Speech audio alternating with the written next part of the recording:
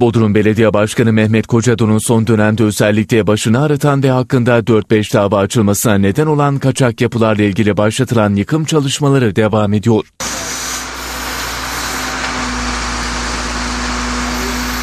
Başkan Kocadon hakkında açılan davaların ardından Bodrum'da geçmiş yıllarda yıkım kararı alınmış herhangi bir işlem yapılmamış binlerce kaçak ve imara aykırı yapılarla ilgili geçtiğimiz aylarda özel bir birim kuruldu.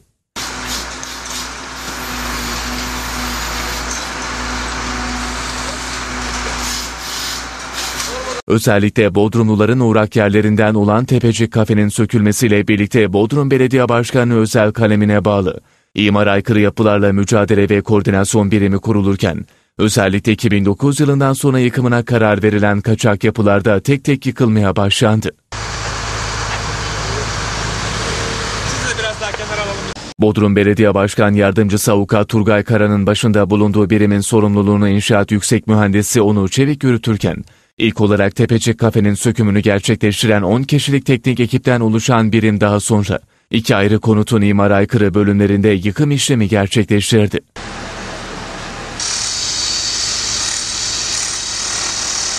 İmar aykırı yapılarla mücadele ve koordinasyon birimi son olarak gece saatlerinde Atatürk Caddesi üzerindeki bir iş hanının dördüncü katında yıkım çalışması gerçekleştirdi.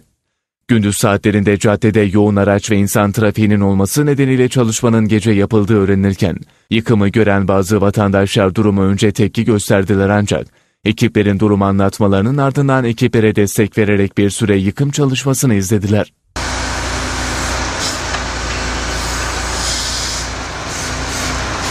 Yıkım yerinden geçen emekli albay Hacı Ahmet Tosun bir süre ekiplerin çalışmasını izleyerek yıkım çalışmasını fotoğrafladı.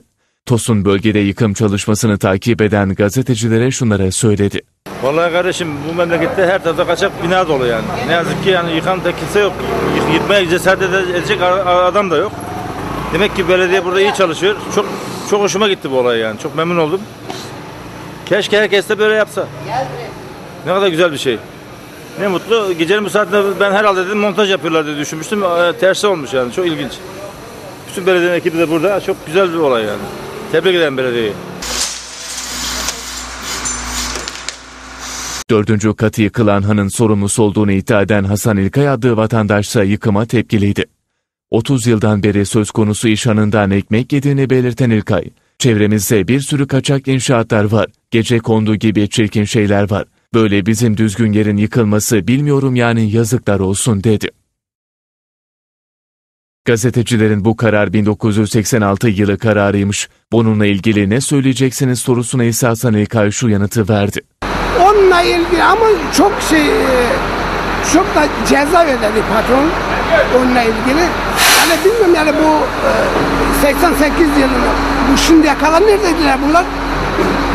Bugün mü çıktı bu soru? Yani ayıp yazıklar olsun vallahi ben utanıyorum. Ben utanıyorum başka bir şey diyemem.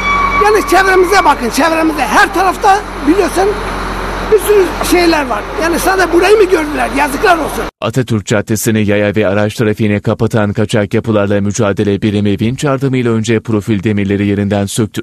Yaklaşık 3 saat süren çalışmalar sonrasında imar aykırı olan 4. kat yıkıldı. Yetkililerden edinilen bilgilere göre 400'e yakın kaçak yapı hakkında çeşitli yargılama süreçlerinin sürdüğü, işlemleri sonuçlanan yapılarda mevzuat hükümleri çerçevesinde kaçak yapılarla mücadele işlemlerinin devam edeceği öğrenildi.